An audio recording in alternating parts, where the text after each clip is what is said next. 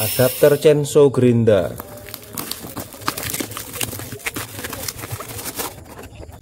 Yang ini mereknya Xenon panjangnya 100 mm ini buat dipasang di Gerinda.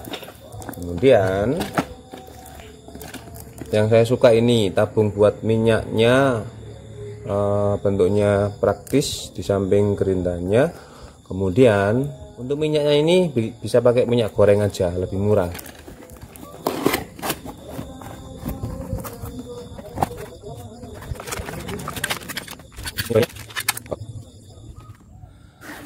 Oke, langkah pertama siapkan semua spare part dari chainsaw adapternya, kemudian siapkan juga gerindanya.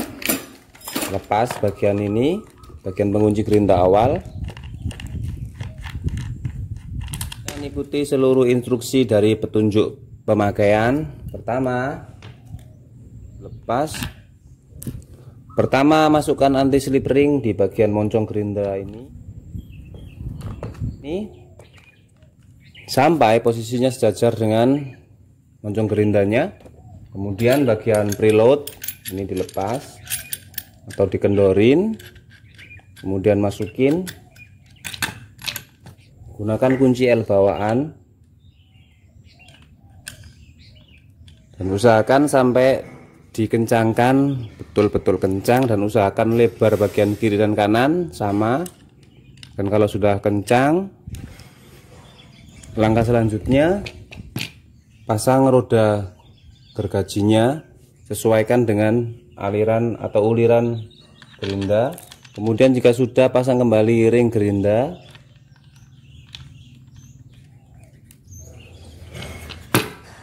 Jika sudah langkah selanjutnya kita pasang adjustable buat pengencang chainsaw.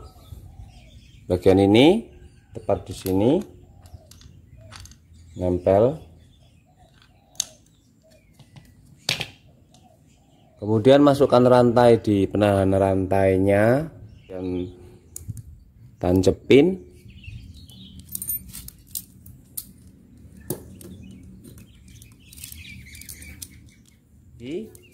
terus rantai yang sudah dimasukkan ke penahannya ini dimulai dari depan masukkan ke rodanya dulu kemudian untuk adjustabelnya masukkan di lubang seperti ini.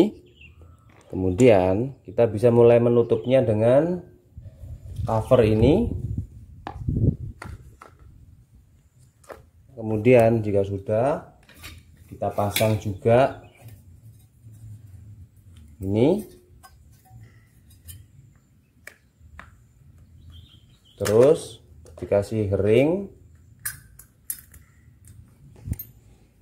masukin bautnya. Satu aja dulu. Satu lagi kasih ring masukkan baut.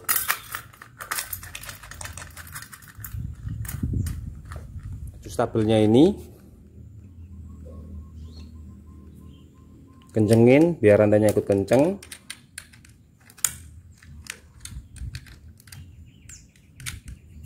atau kita bisa pakai obeng kembang atau pipi.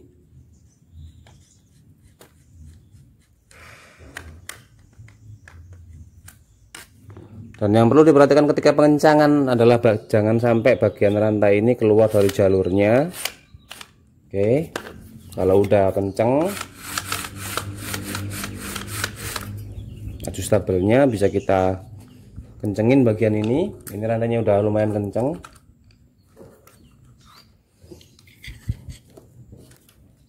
kemudian sekali lagi kencengin dikit lagi.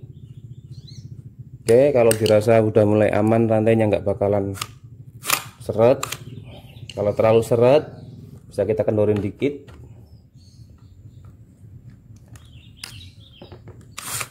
Oke udah. Baru kalau sudah kita kencangkan bautnya lagi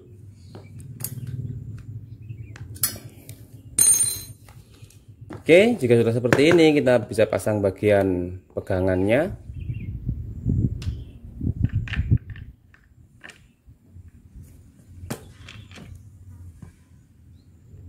Kemudian dikencengin. Dan ini sudah selesai kita tinggal ngasih minyaknya saja. Kalau saya biasanya pakai minyak goreng saja kemudian ini penutupnya ini sekarang mau saya isi pakai minyak goreng. Minyak goreng dapur sih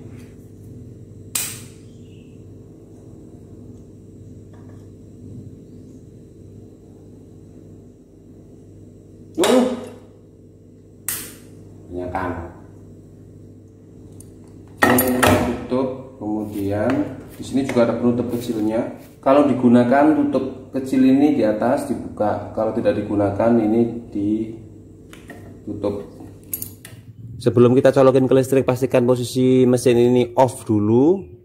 Pastikan off karena sangat berbahaya kalau ini nyala. Terus kalau sudah yakin off kita bisa masukin ke colokan listrik. Kemudian pegang bagian atas seperti ini pegang bagian pegangannya pakai tangan kiri terus baru kita nyalain.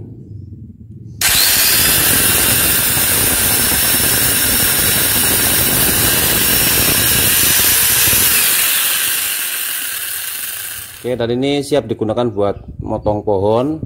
Sasarannya itu thread pohon rambutan yang umurnya udah tua banget sih 10 tahunan. Nanti saya potong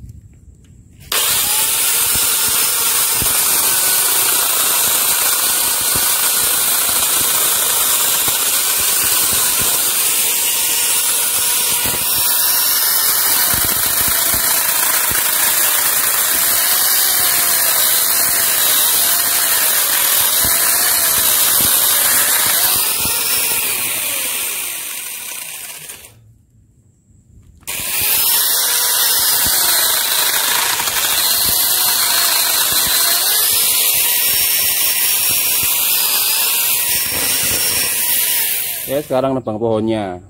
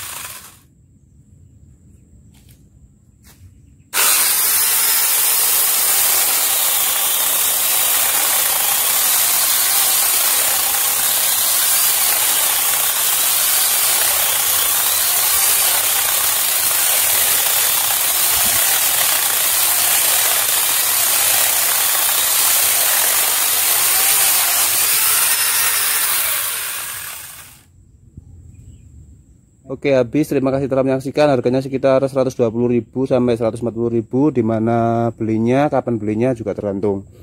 Terima kasih. Dadah